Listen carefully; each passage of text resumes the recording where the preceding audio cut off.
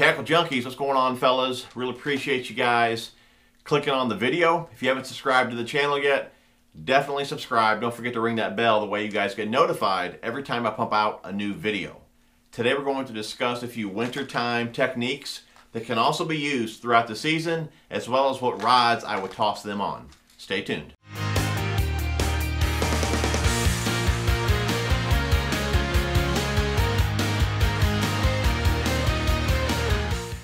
All right, guys, here's the deal. I'm here in the Midwest. Fishing is not that great. We did just thaw. We did have some warm days here recently, but I'm sure it'll freeze again in the matter of a few weeks or so. There is more cold weather around the corner.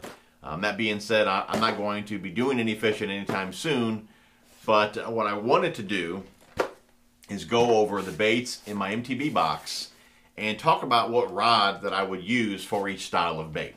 So again, this doesn't have to really pertain to a bait in this box, let's say, you know, we're talking about a mid-depth diver here, you can apply what I'm going to tell you to whatever diver that you're using.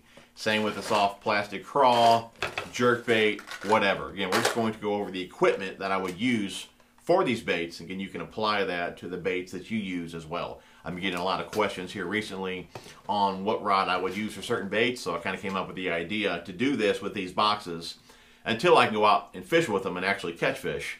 So again, there's different baits that come in the boxes each month. So we'll just go through what rods I would use for each bait in the box the next few months until we get into better fishing weather. If you guys haven't tried out Mystery Tackle Box yet, now is a great time to do it. You guys can use my code TJ81 to get your first box for as little as five bucks. Again, link down in the description. It's a great way to try out new baits, possibly come across your new favorite, Again, it just kind of gets you out of your comfort zone, allowing you to try new baits, new techniques that you may normally not even try or think about. So anyways, check it out, link down in the description.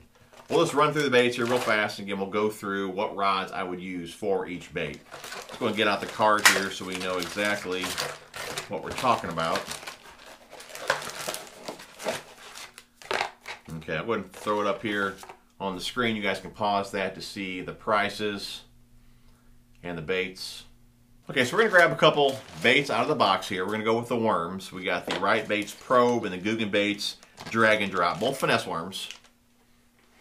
And the first thing that's going to come to mind looking at both of these worms here is going to be finesse, obviously, drop shot, shaky head, even a little Neko rig, wacky rig possibly here with the probe, um, split shot rig. Be honest, guys, when I think of a finesse worm, the first thing I think of is a trailer on a chatterbait. And I know that sounds crazy to some of you guys, but do yourself a favor. Pick up a little finesse worm, any one that you have around. 4.5 Plasma Tail is one of my favorites. Put that on the back of a chatterbait, and I tell you what, man, you're gonna dig it. It's that little tail to span, it starts going crazy, especially the plasma tail, but I'd imagine these would work just as good as well. But any finesse worm you got at the house, just give it a shot, put it on the back of a chatterbait, and you're going to dig it, no doubt. But again, I would definitely try these as a trailer, but um, obviously they would be more suited for you know any finesse presentation that I mentioned earlier. Again, drop shot, shaky head, something like that.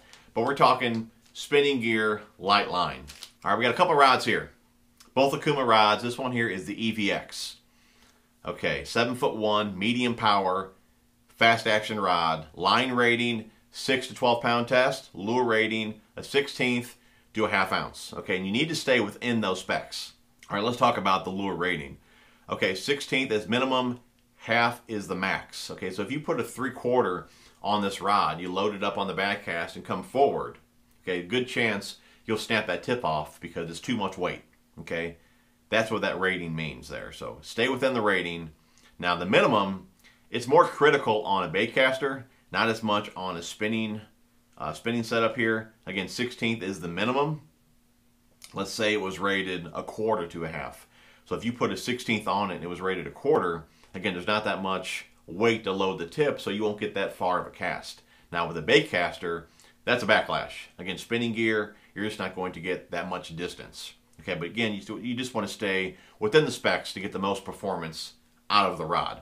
You know, the line rating, 6 to 12 pound test, again, that's really just to um, keep you from breaking fish off. Okay, so six to 12 pound test. If you put like two or four pound test on this, the rod is just too stiff for that pound test. So if your drag is not smooth enough, again, you could break fish off. Let's say, you know, it says rated the 12 pound test at max. Let's say you put 17 pound test on here and you got your drag locked, say you're using braid, something like that. You feel a bite, you set the hook, and let's say you think it was a fish, but maybe it was a snag, and you set it pretty hard. Well, with that line being much stronger than what the rod rates, okay, that could break your tip off as well. Okay, so normally you want the line to break before the rod. So again, that's why you want to stay within those specs. But again, that's what those stand for right there. But this right here is a good all-around rod for really any finesse, you know, technique here. I got another one here in the SX lineup. Again, this one is a medium as well, seven foot two medium power fast action rod. The line rating is a little bit um, larger on this rod, eight to 17 pound test, and again, eight to five eight as far as the lure rating goes. A little bit different though, but for the most part, good all around rod. Just pay attention to the specs when you're choosing a rod. Figure out what you want to do, and then you can decide, you know, which rod is best for you. So if you like lighter stuff, you may want to go to a medium or a medium light. But again, it really does depend on the rod company itself, just because I have a medium heavies that load at an eighth as well. So again, just pay attention to the specs, maybe the power that you may need. You may need more power in some situations if you're around brush piles and things like that. Open water, you don't need the backbone. So again, just pay attention to what you want to do, you know, with the rod as far as techniques goes and where you're fishing around, um, so you can choose the right rod for each situation. Okay, next up, let's grab a couple hard baits in here. Looks like we got one from Vexen, somewhere in here.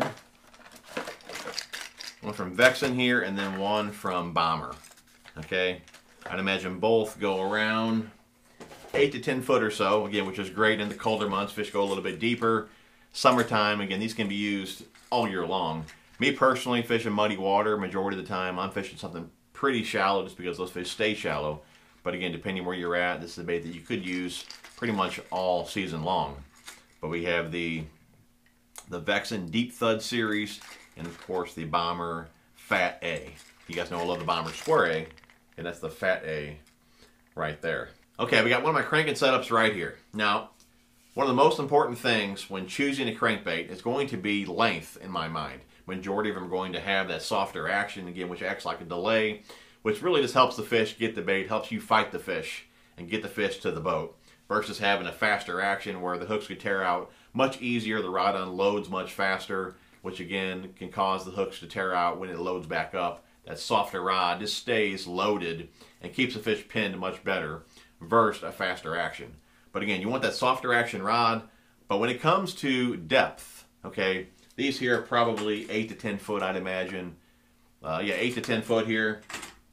So with a bait diving that depth, you can get away with a seven footer, seven two, seven three. But when you're talking, you know, 16, 18, 20 foot plus, you got to have a long enough rod to get that cast, to get that lure down to max depth. So again, length plays a huge role in deep diving, but as well as shallow cranking as well. I mean, there's times I'll use a 6'8 or 6'10 because I'm in tight spots trying to do little roll cast and all that, and a seven footer, seven foot two is just too long. So again, Length of the rod plays a role. As far as the specs go on the rod, line rating 10 to 20 pound test, and a quarter to one ounce as far as lure rating goes. Again, stay within those specs and you'll be pretty good. This one here is a medium heavy. Again, just because I'm looking for a rod that can load a little bit heavier lure, so the, the power rating may change, again, depending on the lure weight.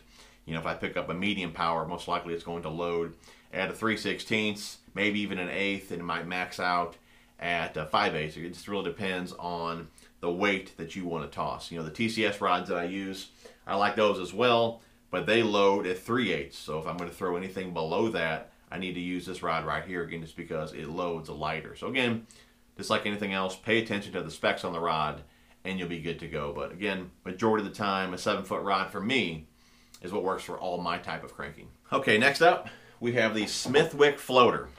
0 to 2 foot, 4.5 inches, third ounce. Again, great bait to fish in the wintertime, early spring, late fall. I know guys that fish them all year long, but me personally, I like them in the colder months. As far as the rod goes, pretty much the same deal as a cranking rod, but I go much shorter. Okay, what we have here is the Okuma EVX 6 foot 8, the medium power mod fast action tip on it.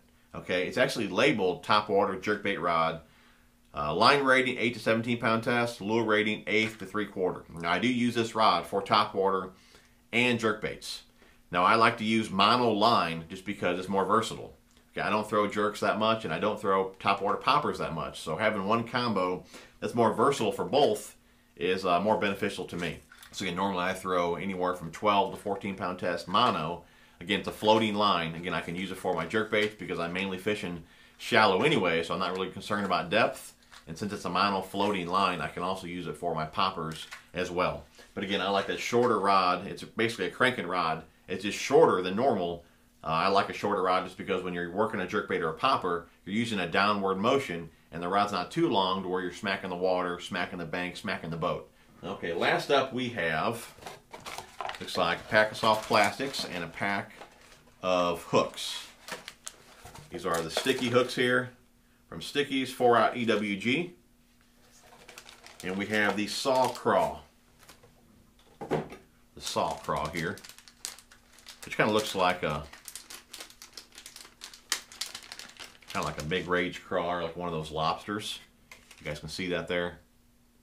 Good looking color as well. Okay, so here's a medium heavy fast. This is probably, I mean, I know I got about 80 rods behind me, but a medium heavy fast is the most versatile rod that I have. Just changing around pound test, type of line, I mean, it really makes the combos uh, more versatile. You can just do so much with this rod. Again, just little tweaks to your line, things like that. You can get much more out of a medium heavy fast. But this is one of my go-to rods here.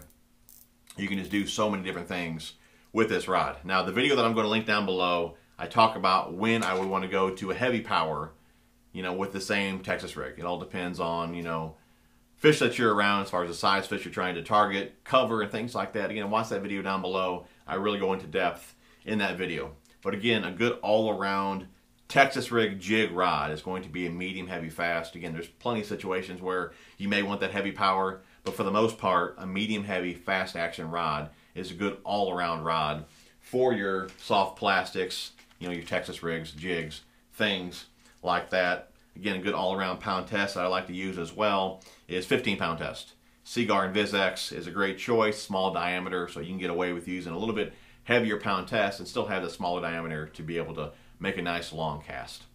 But um, I didn't really talk too much about reels. You know, six speed really is my go-to reel.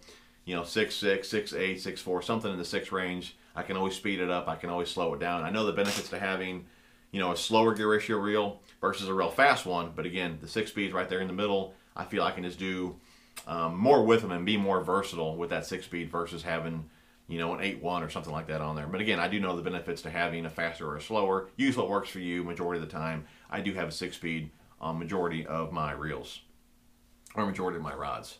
But again, medium heavy fast action rod is a great all around rod for your soft plastics and your jigs. Alright guys, that's all for the box here. Looks like we got the Divil Digest in here, as well as a sticker. But I tell you what, I do appreciate you guys hanging with me. It's been a longer video, I know. But again, give me some feedback down below if you like this style of video, just going over rods. And again, the boxes to get. Next month, we'll do this again. Hopefully we get some different baits and you guys can get an idea of what rods work best for what. But if you guys are still here, I'm to give you guys a little something. How about we do a pack of worms and a crankbait? The Vexen crankbait here, Riot, Probe. You guys leave a comment down below. We'll pick a random comment using a random comment picker, and one of you guys will win a couple baits. So again, I'm not going to title it giveaway. If you guys are still here and you leave a comment, uh, the giveaway is for you guys. I do appreciate all the support. You know, smash the thumbs up. Subscribe if you haven't. Again, make sure you leave a comment, and you'll be entered in this little giveaway here. You guys are awesome. Thanks for watching. We will see you guys on the next one.